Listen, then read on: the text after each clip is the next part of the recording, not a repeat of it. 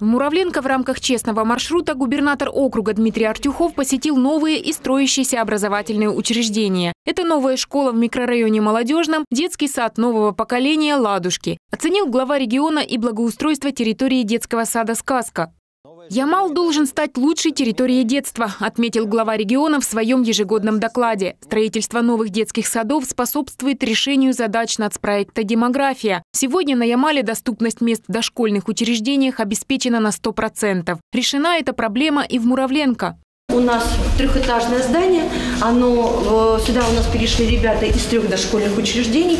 На первом этаже у нас размещаются групповые для самых маленьких, от года до трех. Новый современный детский сад «Ладушки» открыли 1 июня. В него перешли воспитанники из ветхих деревянных зданий «Дюймовочки», «Буратино» и «Золушки». Новоселье справили 230 ребят. Роза, вкусняшку вы делаете?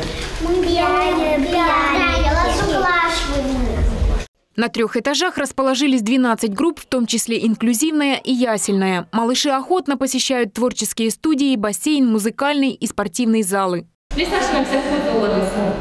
Тянемся за булочком вверх.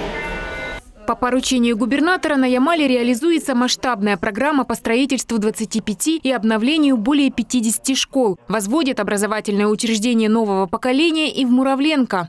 Это получается актовый зал здесь. Вот там бассейн, спортзал получается. Вот здесь актовый зал, будет пространство. Остается в таком виде, да? Да, как да, да, ну, да. Благоустройство уже... Проект своеобразный. Он интересный. Там в середине атриум такой полноценный.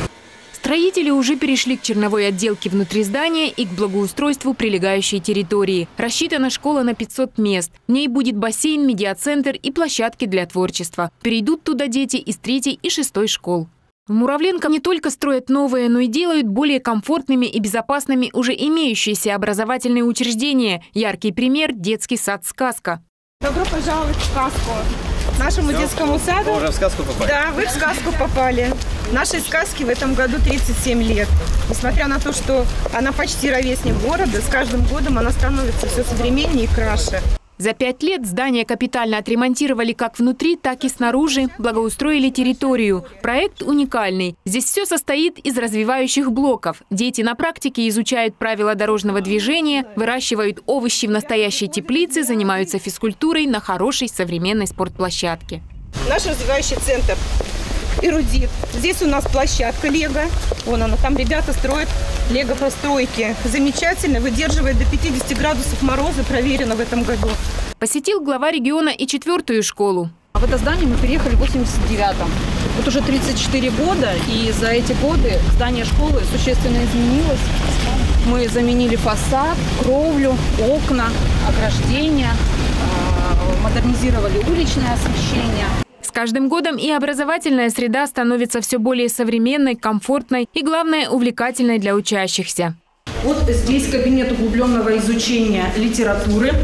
Наш учитель русского языка и литературы уже готовится а, к занятиям, осваивает новую аппаратуру. Что Наше новое приобретение, да, видеостудия. Что видно? Представляем вам модуль iDesk, это ПО отечественного производства. А, работая на данном модуле, ребята смогут создавать собственные медиапродукты, такие как видеоуроки, мастер-классы, проводить онлайн-конференции. По поручению губернатора теперь во всех школах города организовали молодежные пространства для участников движения первых. Не забыли и об учителях. В рамках Года знаний, а также Года педагога и наставника в четвертой школе модернизировали учительскую. Кабинет оборудовали рабочей зоной и местом для отдыха. В этом году оборудуют такую же во второй школе, а в следующем обновят кабинеты для педагогов в первой школе и лицее. Татьяна Козырь, Сергей Лукович. Новости Муравленко.